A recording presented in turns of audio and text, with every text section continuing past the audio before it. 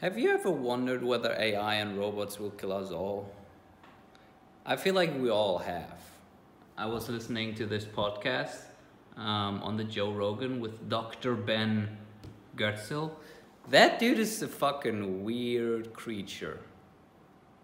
But I guess we need these kind of people. Um, but um, that made me think about. I mean, if you look at that guy, and let's let's look at that guy. Let we need a close close up that guy. like, he just looks like someone who, and I'm not trying to be um, offensive in any way, but he's like a nerd. Like, he's the definition of a true nerd. Like, he has a company which is called SingularityNet, which focuses on basically being a marketplace for AI systems to communicate with each other and send out transaction. He is a scientist, he does research on AI, blockchain, um, you know, all of that cryptocurrency stuff he's involved in, mostly to supplement the AI because blockchain makes a lot of sense as the infrastructure to run AI across. Um, but that just made me think that I, if I would choose right now to say like, okay, AI and developing AI is the most impactful thing I can do, or is the most impactful thing you in general can do, I would never be able to compete with that guy. He is made to do that. He's not necessarily born to do that, but he started reading when he was two years old. His grandfather was a physicist, so he started reading physics books when he was five years old. So it's not like it's in his, in his genes, but he was just conditioned from when he was two years old to be fascinated fascinated by this kind of shit that it's completely impossible to now catch up to him and say like you know what?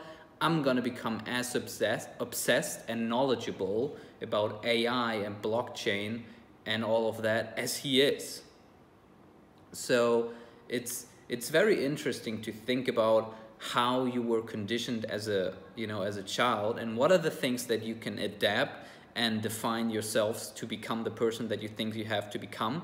And what are the things where you might be able to become better at, but when it comes to really cutting edge and having a, an impact that goes beyond just what the average person can do, there are just people who, who are just carved out for that, you know?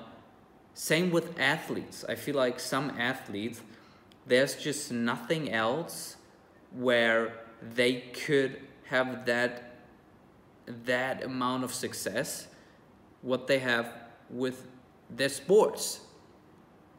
And then it's more so about you know defining how within that those confines you can then have that impact. I mean if you're a very successful you know football player you could say that playing football doesn't necessarily have a big impact on the future of the world but you can decide to then go ahead and donate a lot of your money, which will be millions on millions of dollars, which will have a massive impact. You will have a very big influence on the next generation because people think you're cool and you're relevant, and so you can shift people's perspective on you know matters that on things that matter like global change or you know putting more money into the research for da da da da. So I don't know. It's it's just it made me wonder what that thing is for each individual person, what that thing is for me. Like when I look at that guy, I'm like, that's not me. And that's good. Like that's that's his thing. He's completely obsessed with that. He's brilliant as that. No one should be able to, you know, like these people, we need these people to lead like such cutting edge research on things like AI. But that guy is not made to be on a stage. Like he's a weird creature that will he will never be you know like a public figure that that people think is cool or something. That's not what he is made for. There are other people. There there are people like Joe Rogan who are just made for you know being out there in the spotlight, interviewing all of these different people and. Um, synthesizing all of this information and spreading it into the world because if there wouldn't be creatures like Joe Rogan, like people like you and I wouldn't be able to listen to people like that guy. Anyway, that was just a um, long ramble. It just made me think. listen to Joe Rogan podcast. He has some fascinating fucking people on there, and especially it's so diverse. Like he has people from all kind comedians and actors and scientists and and entrepreneurs and and um, all very high level successful people in their specific field. So for me, I listen to it because it just broadens my perspective of listening to all of these experts in their specific field. So check it out if you haven't yet. Yeah. So it just worked out, and usually, usually when I work out, I listen to music, and uh, sometimes I listen to like podcasts or audiobooks. But I notice that usually, if I'm really concentrating on my workout, I can't really listen to the audiobook, so I listen to music. and just recently, I was actually listening to a podcast. It was actually a Joe Rogan podcast with um, I forgot his name, Hicks, Higgins, Joe Hicks. I don't know, like a Navy SEAL. And basically, what they were saying is that um, listening to music while you work out is cheating because um, you're making your you, you're making yourself dependent on outside motivation versus in versus, versus internal motivation? Because like essentially you're using the music to pump you up and motivate you and there's definitely a difference. Like you lift um, heavier if you're listening to the right music. Like if you worked out you work out you know that right?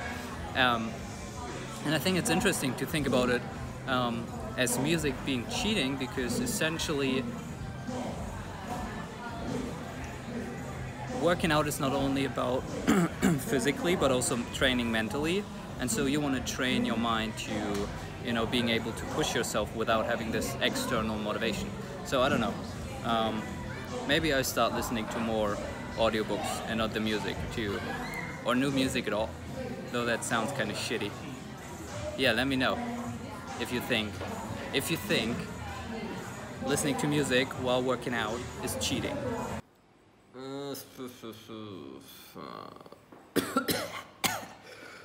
yeah, I'm getting so sick, but yeah, I just had a call with um, or I was supposed to have a call with um, some people who run a hedge fund, and um, they're pretty established entrepreneurs with a couple of hundreds of millions of exit money, and um, their assistant actually reached out to me on LinkedIn because they are um, they want to level up their their personal brand right now. So um, I me and her assist their assistant kind of figured out a time to talk and that was supposed to be now.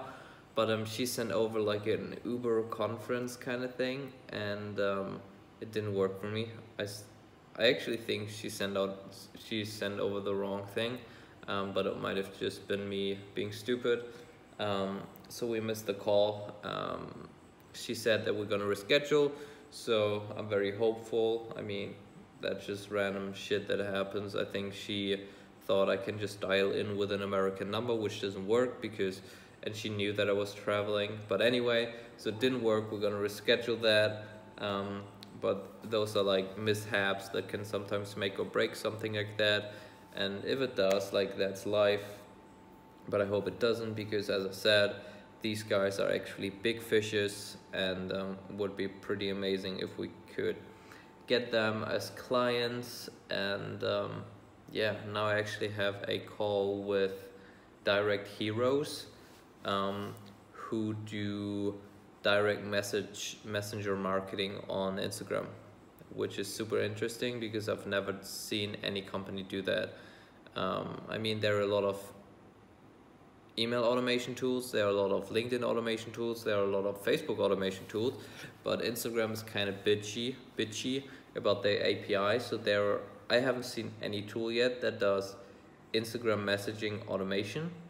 And so I just reached out to them because I want to talk to them. Um, but that will be the last act of the day. It's now 11 p.m. and I should be resting because uh, I'm getting sick. So anyway, I'm gonna um, sign off now.